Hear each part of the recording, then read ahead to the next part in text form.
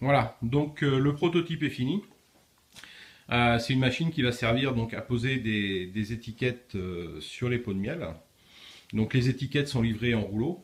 Le rouleau est dévidé à travers la machine, guidé ici, pour venir après se replier à cet endroit-là au niveau d'une lame. Donc la lame a pour effet de décoller l'étiquette. Le pot de miel se met ici, avec une petite tige ici qui permet de bien le caler sur le côté pour qu'on ait une étiquette positionnée toujours au bon endroit. Donc, j'ai une petite démonstration.